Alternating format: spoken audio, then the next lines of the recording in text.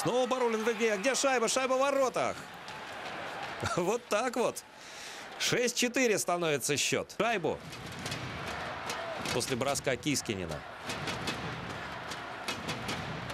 И она опускается у него за спиной. Его ворот.